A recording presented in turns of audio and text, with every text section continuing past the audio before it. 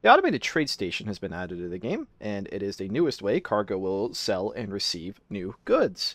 In order to get to this trade station, we need to locate the cargo shuttle console, which is a blue console always located in cargo bay. This lets us fly the cargo shuttle. Cargo shuttle will spawn somewhere randomly in space, and in this situation, it actually spawned right next to two space ruins and right next to the trade station. Well, we need ourselves to get there.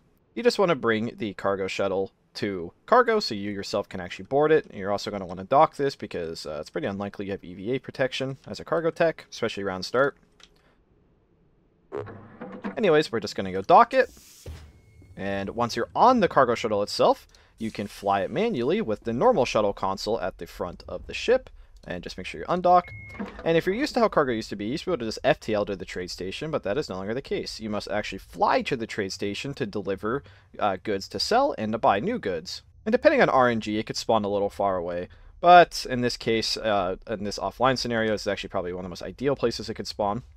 So once you're here, you just dock, no problem. And I spun it a little bit, but it doesn't really matter that much. And once you're at the trade post, it'll look something like this. There's a new computer at the trade post called the cargo sale computer, and it will let you sell things on the cargo pallets, and it will just tell you the estimated value, and then you can press sell to sell things. So for example, if I just drag this locker over, which you probably don't want to do this in a real round, but if I drag the locker over, it instantly appraises it, and if I click sell, we'll make $638. And you actually get the money in a physical form. There's nothing else really of noteworthiness on the trade post. It is really just here for selling and buying things. Other than that, there's nothing really going on. On the part not inside the trade post, there is solar panels keeping this powered, and there is also a pretty elaborate power setup. This will be powered forever. Uh, there's actually no way to get inside this unless you dismantle a wall. Inside there's a solar control computer and a power monitor and console as well. There also is technically a little Atmos setup, and it is anchored by default. So unless somebody sabotages it, the trade post is autonomous and does not require any form of maintenance. It also even has its own gravity. Interestingly enough, there is a gyroscope, and I have already seen videos of people turning the trade ship into its own ship and just flying it back to cargo and basically doing everything right then and there. So that is a strategy. I don't think that's intentional though, so I'm not going to even cover it really, and uh, I'd probably just avoid doing it because I don't think you're meant to turn this into a shuttle. So once you get back to the station, you want to take your Spesos, however much you have, and you just left-click a cargo request computer. Now put the money inside instantaneously. As you see, I just put in $10,000, so we have 10,000 more dollars. Only other thing that I really have to cover is just how buying things work, which I did explain it. We'll just buy 10 bomb suit crates, and I will now go fly back to the trade post so you can see how that works. And once you get back to the trade post, you'll see your goods that you bought. Uh, I did buy 10, and there aren't 10 here, obviously. Uh, that I believe this is being fixed, if not, at least the issue is reported. So if you want to order 10 crates of something, order 10 individuals rather than doing 10 at once in one order. Uh, I believe that will fix it, but just to let you know, don't order in bulk for now until that fix is in the changelog.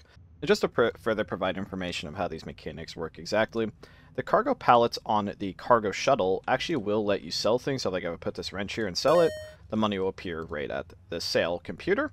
So that means you can actually just take a cargo sale computer from the trading post and just put it on the shuttle to have slightly better control of finances on this uh, station itself. That way you don't have to always fly out here to sell. So if you want to save time, you could bring a computer back with you and just sell on these pallets. Buying is strictly limited to the outpost. So that's why people are turning this into a ship, because if you turn into a ship, you could buy and sell in the same exact place. So uh, I unanchored all of these cargo pallets, and if you try to approve anything, it'll say no room to fulfill the order. But if I wrench one back on the trading post and just confirm it, they instantly appear right there, and it'll even say uh, sent there's even a message that pops up. It's hard to read it, but if I just very quickly approve it, sent to automated trade station, and there you go. So it, you can only buy goods here, but you can sell anywhere as long as you have a selling computer. Yeah, that's really it. Anyone who has played Frontier Station has seen this before. This is I pretty much identical to the way you sell goods in Frontier Station. I know a lot of you have played Frontier Station. If you haven't, either way, this still explains how to operate cargo now. Um, I think utilizing shuttles is a really smart move in general, if you want my opinion. Uh, something that we, something that 14 does a lot better than 13 in general is the shuttles. Uh, they feel really smooth to drive. It actually is a real vehicle moving across space, and I think that adds a lot more drama and potential gameplay. Because now Nukies are going to be driving through space. There's ninja spawning in space. There's random ruins in space automatically. uh, salvages, mining in space. There's more things happening off station but near station, and I think that's really cool.